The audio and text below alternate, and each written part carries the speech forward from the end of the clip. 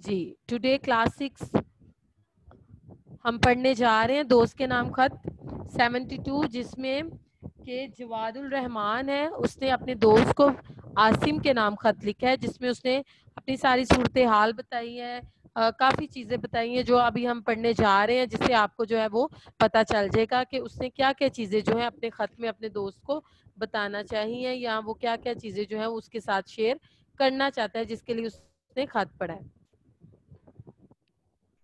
जी बेटा उन्होंने ये एक चैप्टर के तौर पे ही दिया हुआ है ठीक है? इसको हमें एज अ चैप्टर ही पढ़ेंगे okay okay let start as Chakwal तब कोई कोई उन्होंने तब की डेट लिखी हुई है 6 जून 2014 प्यारे आसम अस्सलाम वालेकुम।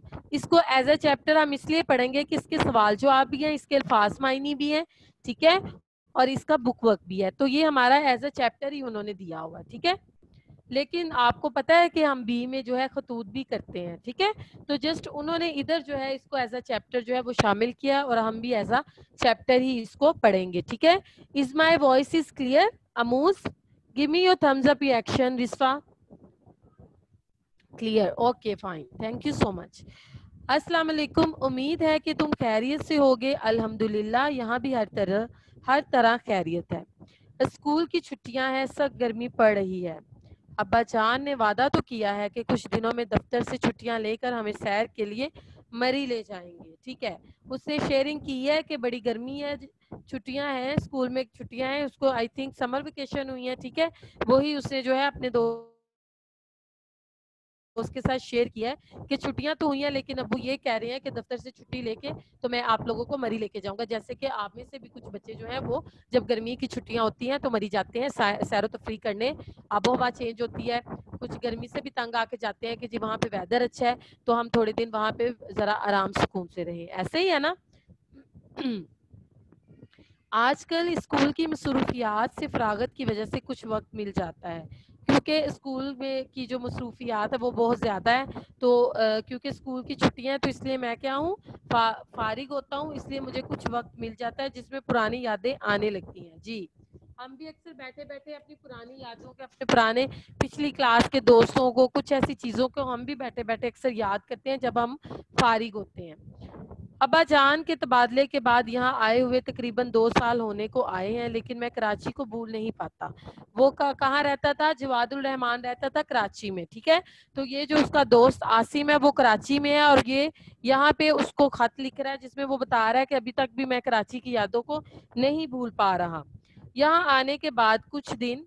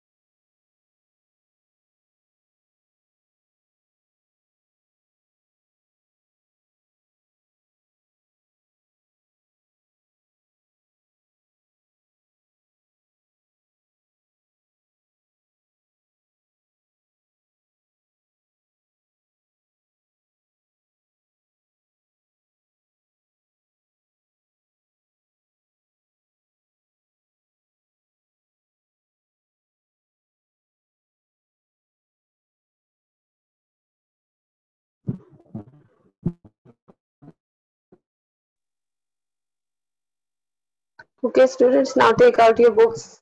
Your teacher is here.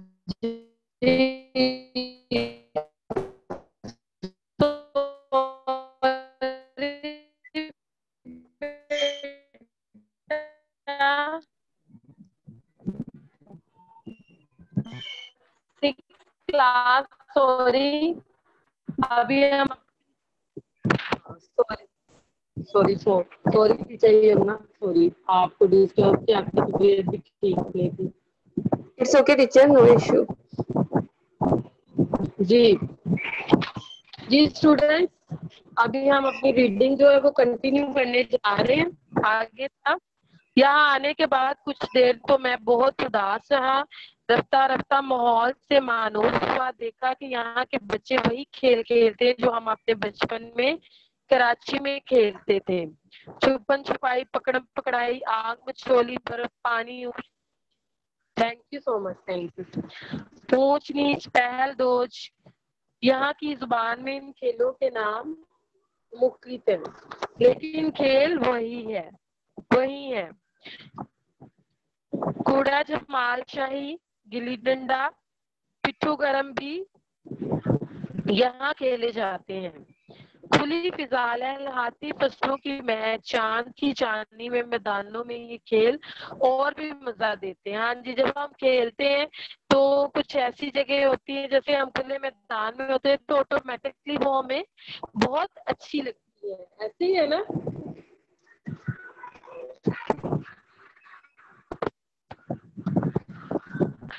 Ji. Cricket cricket पूरे मुल्क की यहाँ की तरह यहाँ भी मकबूल है।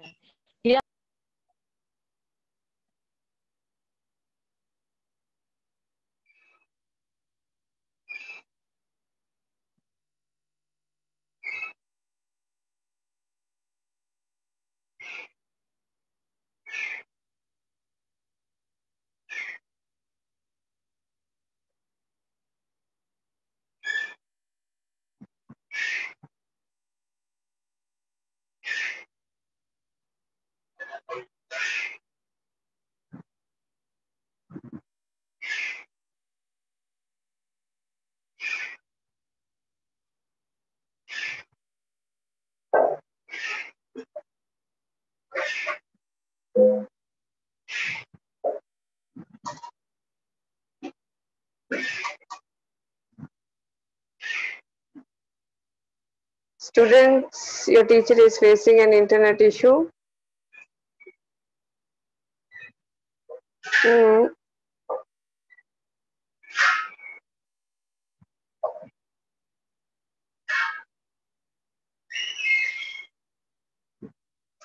I'm checking it out if she is able to join or no.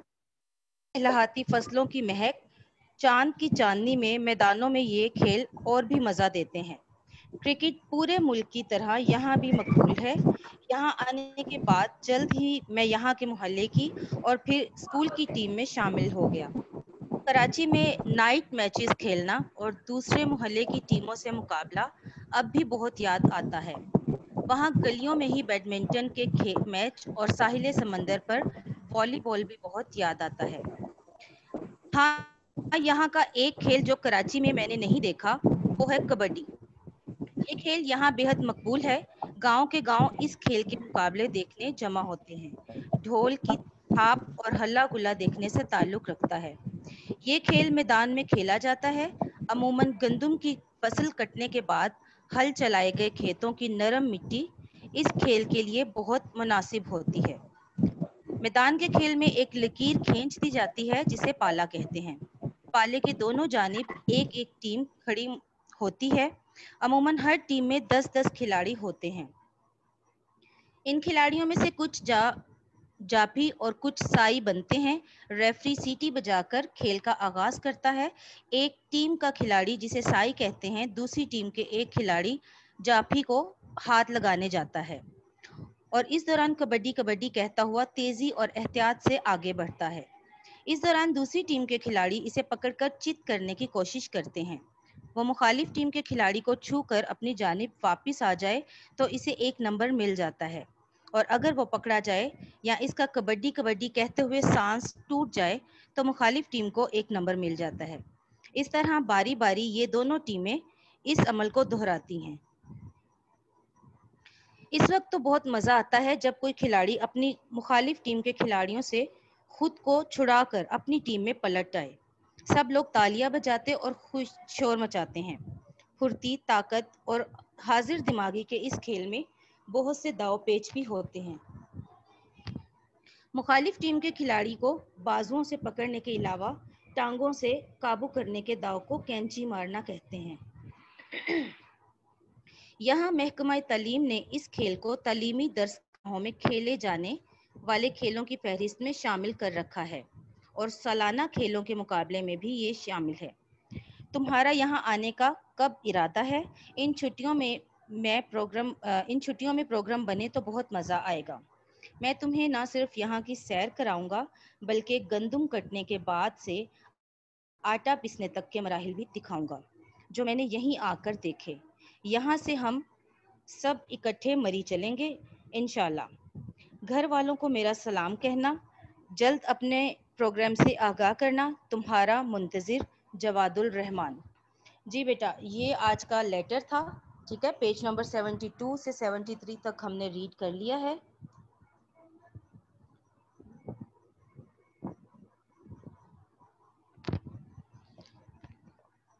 आ, ये जवादुल रहमान ने लिखा है खत ठीक है अपने प्यारे दोस्त को जिसका नाम है आसिम। उनको जैसे हमें भी हर साल छुट्टियाँ होती हैं वैसे उनको छुट्टियाँ हुई हैं और उन्होंने क्या प्रोग्राम बनाया है? मरी जाने का। लेकिन उस खत में उसने अपने जो थे कराची के हालात बताए हैं और बहुत सारी खेलों के बारे में बताया है। ठीक है? इनमें से बहुत सारी खेल आप लोगों ने भी खेले होंगे। ऐसा है ना? मुझे बताएँ। साइन ऑफ़ थम्स अप करें। आपने इन, इनमें से काफ़ी खेल खेले हैं ना? क्रिकेट तो सभी ने खेला होगा। मैचेस तो सब खेलते हैं ना? है ना?